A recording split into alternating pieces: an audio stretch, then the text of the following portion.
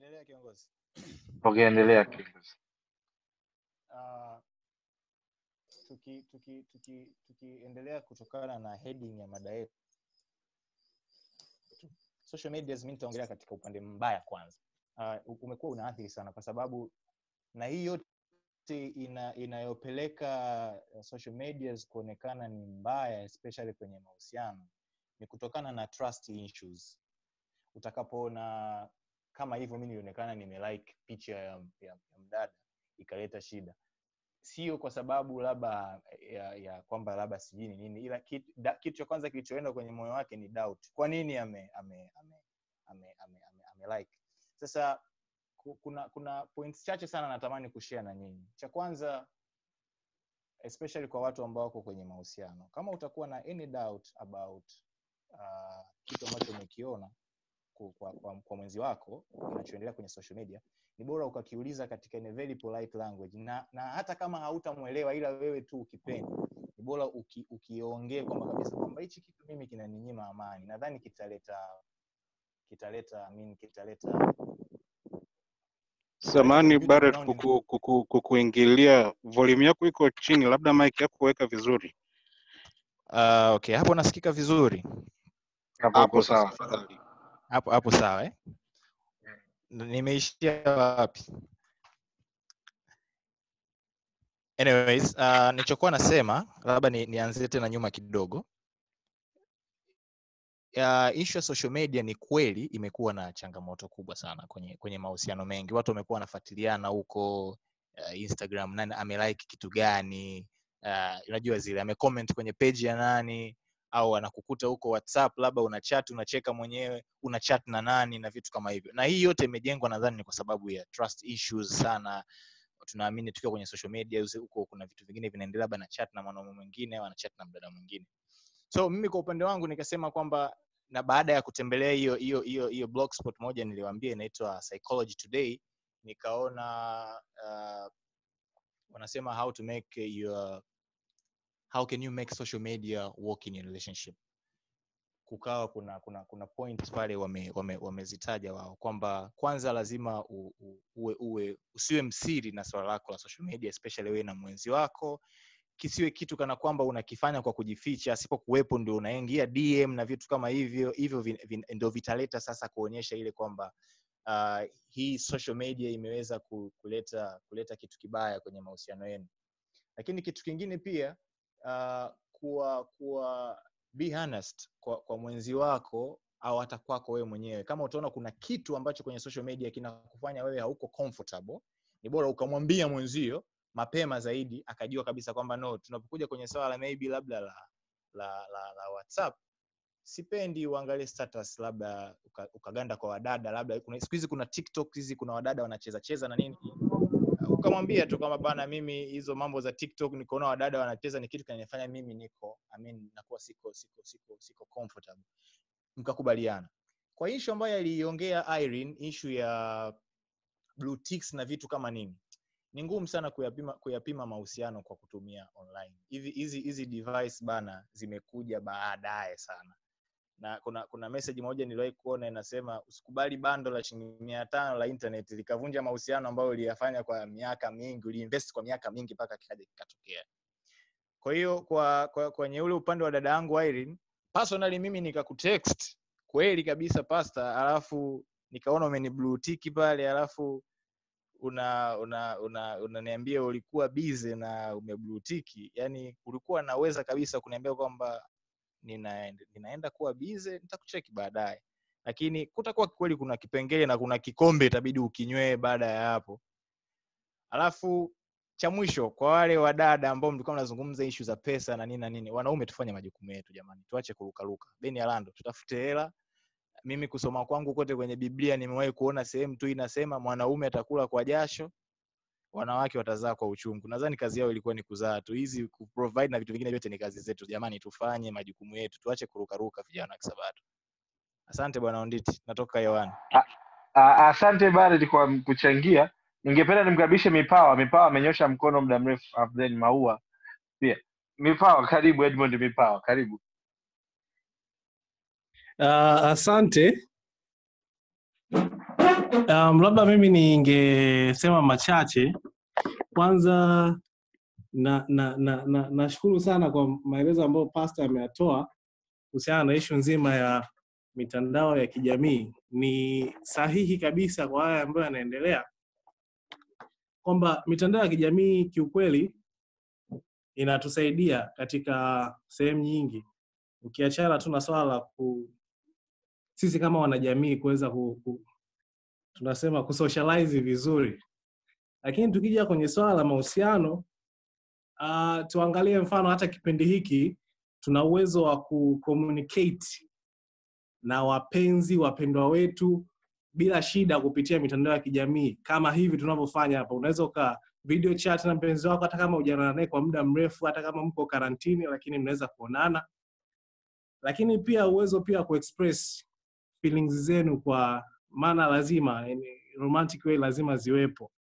Lakini sasa tukija, kuna swala moja ambayo pia Irene alizungumzia kabla sijaenda kwenye swali langu kuhusiana na swala la blue tick. Pastor ameliongelea vizuri sahihi, na hata Barrett pia ameligusia.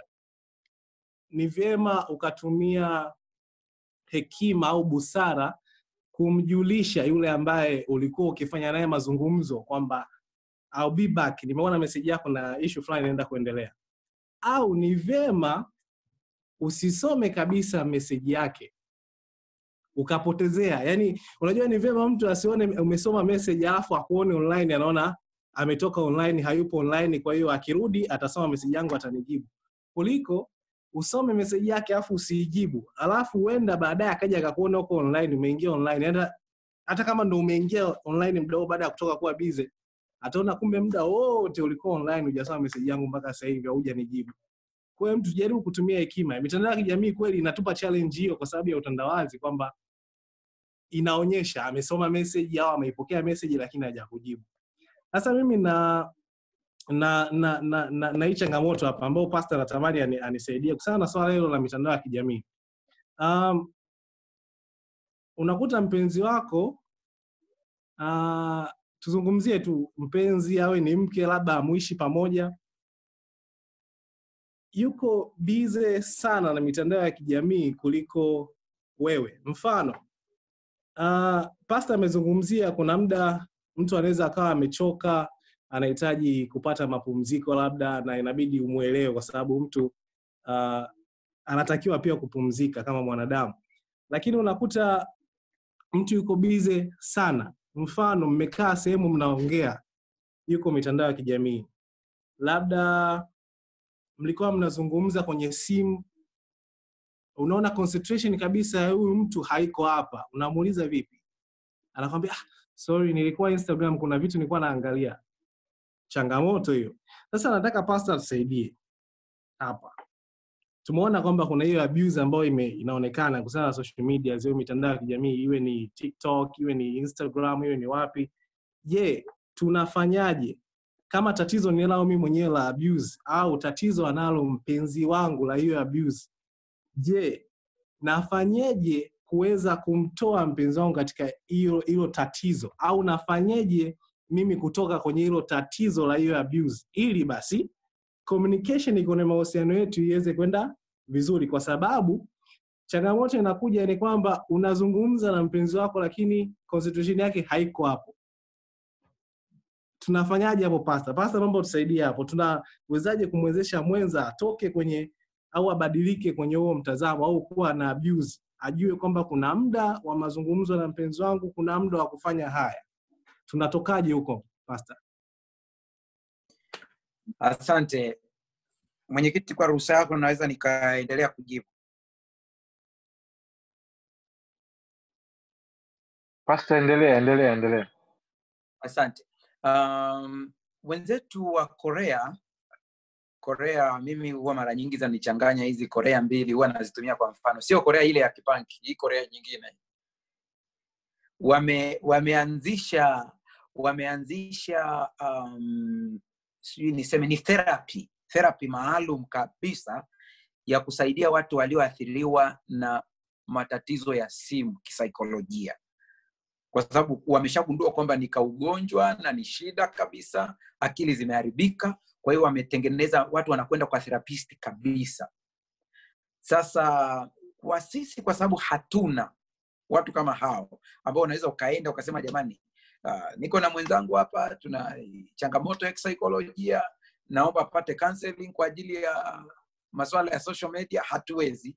Lakini tunaweza tukaanza tuka- kujichunguza sisi wenyewe tukaanza kubadilika sisi wenyewe. Nikiwa na maana ya kwamba lazima ninyi wawili muanze kujua ya kwamba mtu yeyote ukiongea naye alafu uko bize na simu una off. Yani lazima ulijue hilo lazima likae akilini kila mmoja aweze kulijua. Nitoe mfano mimi ni, ni mshauri na saha hiyo nimefundishwa kabisa kwamba mteja anapokuwa na wewe alafu umeshika simu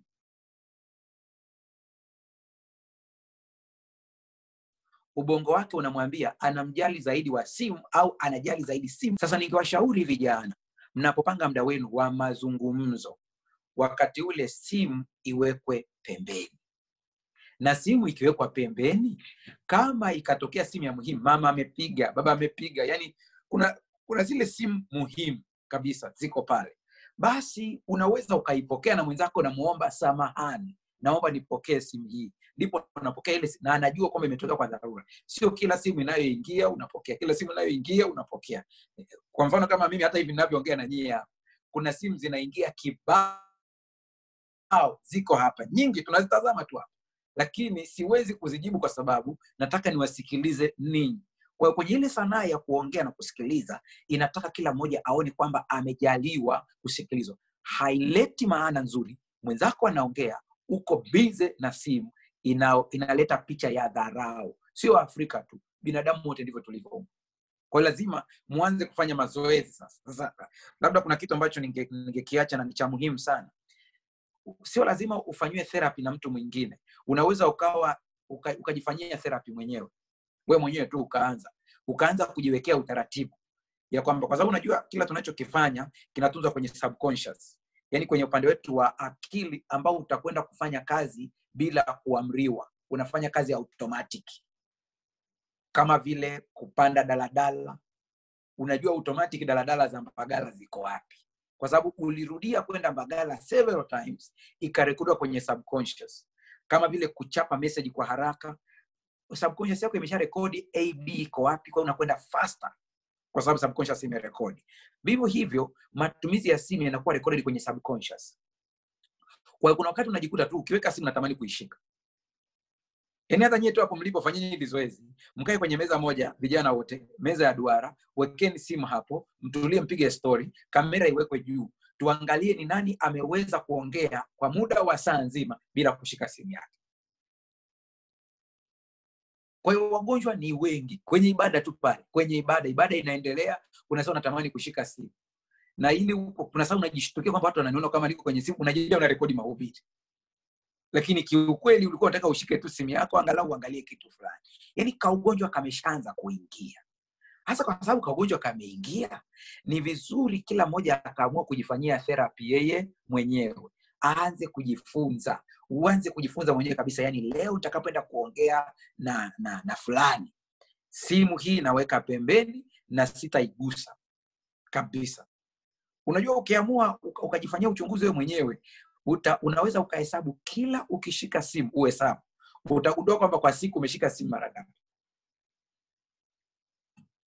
Ndio sababu katika baadhi ya maeneo ya, ya, ya mashirika ya wenzetu wa nchi zilizoendelea wameweka mifumo ambayo unakatazwa kabisa kuingia na simu. Kwa sababu anajua kabisa unaweza ukajikuta uko bizi na simu mashine ikaendelea kusaga mkono. Kwa sababu simu ni ugonjwa kwa hiyo kwa hiyo uh, ndugu mipawa niseme hivi. Cha kufanya ni nini?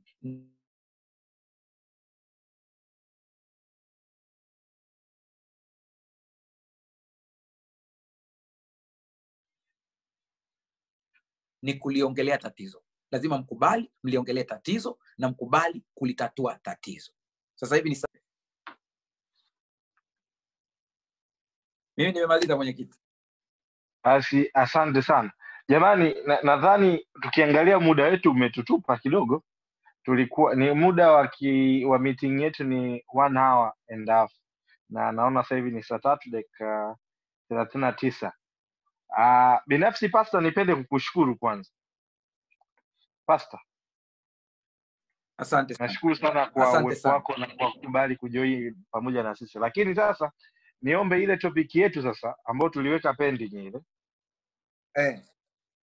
ndio. Tutafute tuitafutie muda. Make jamani huwa tunakutana ni Jumaa, jumamosi na jumapili tu.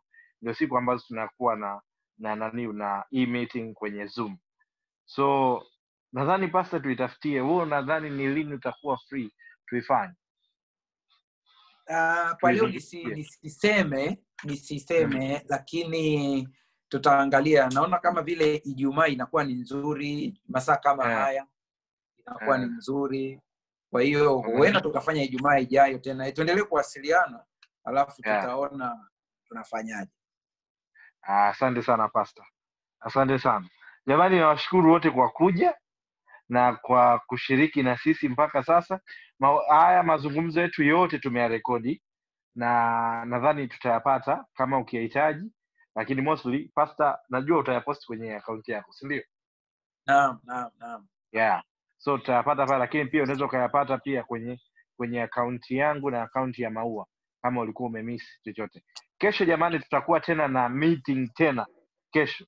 Sasa stay in tune tutakwambia kesho tutakuwa na nani na mada gani ya kuongea. So tuta, tuta share tuta make sure usikose.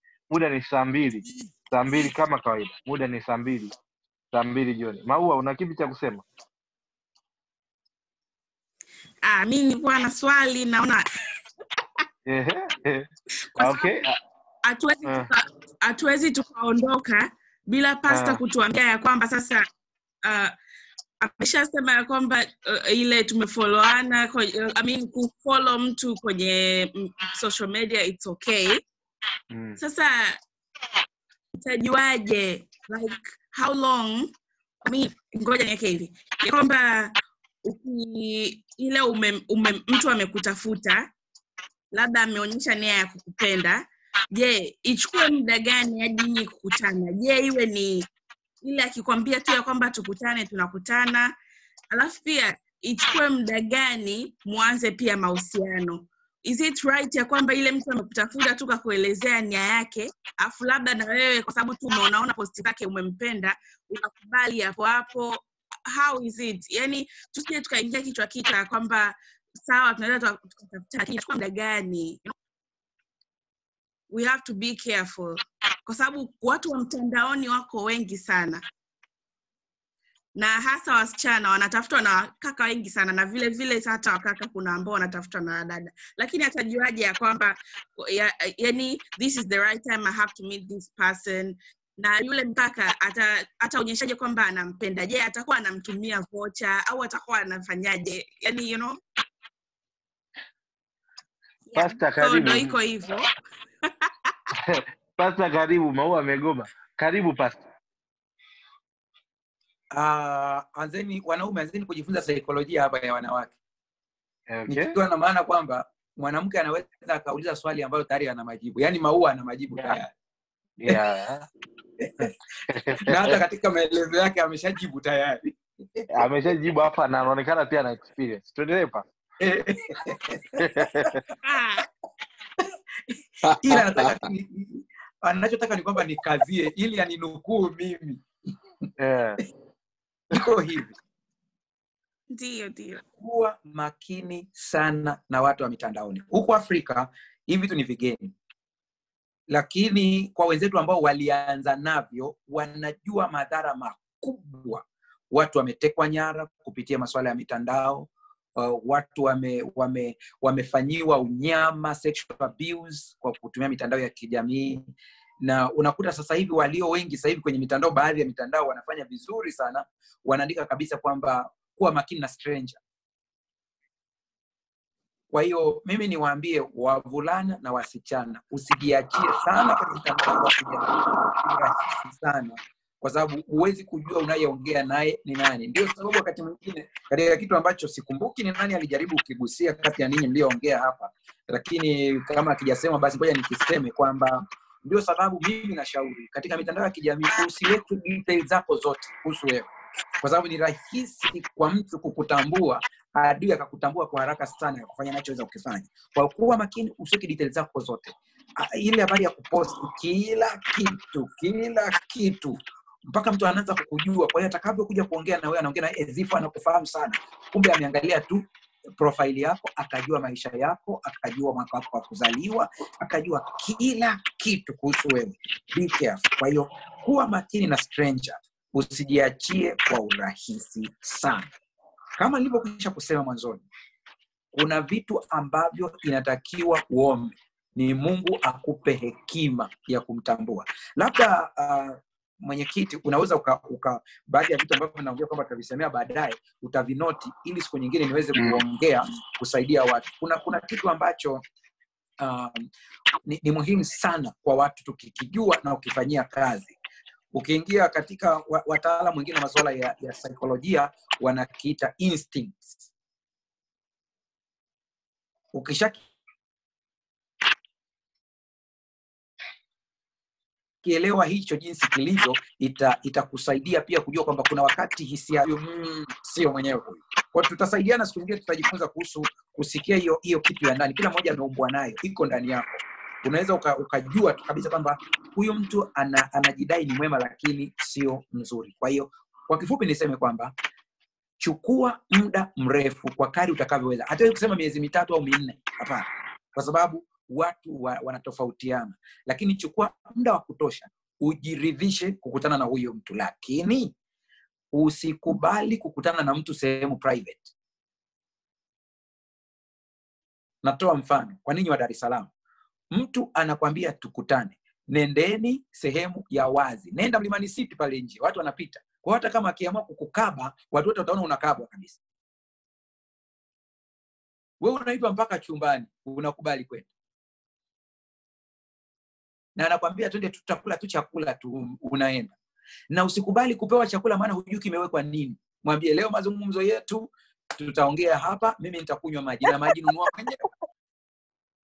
Kabisa. Acha kupewa pewa vitu maana huwezi kujua ya kesho. Asante sana. Asante pastor, asante sana. Um, Clinton, naomba tumalizie ili tuende tukalale, tujiandae na kesho Sabato. Tunashukuru kwa kila mmoja ambaye ameweza kujoin mijadala hii.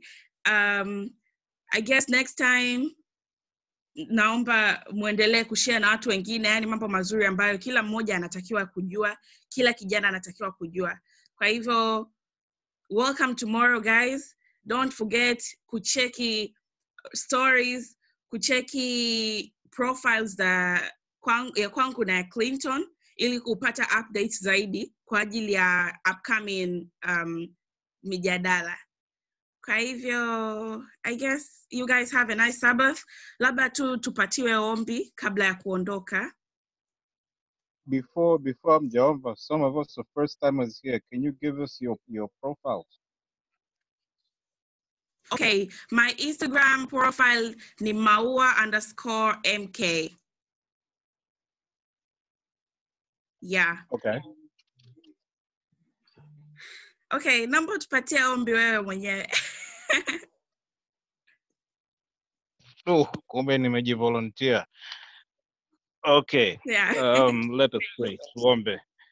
Bwana Mungu uishie juu mbinguni, asante kwa kutupatia wakati huu wa leo wa kujadiliana kuhusu mada hii muhimu sana inahusu mitandao ya kijamii na effect yake kwenye kwenye relationships. Um, tunashukuru kuwa na pasta jioni hii na tunashukuru kwamba ameweza kutenga muda wake na kuja kutusaidia katika mada hii muhimu sana. Naomba uzidi kumbariki katika ministry yake. Tunatengana sasa kwenda kulala, tunaomba uweze kutupa usiku mwema, na kesho tutakapoenda kanisani, wengine wataweza kwenda, wengine watafuatilia kwenye YouTube. Tuwe na sabato njema, na kama ni mapenzi yako, pia tuweze kukutana tena kesho jioni. ambayo kwa jina ya Yesu Kristo, amina. amina guys have a nice sabbath pastor tunashukuru sana Amina. god bless you Amen. Good night. Amen. Good night. amen amen kila mtu anaaga. Mwema. haya usiku mwema sadaka jamani Asanteni.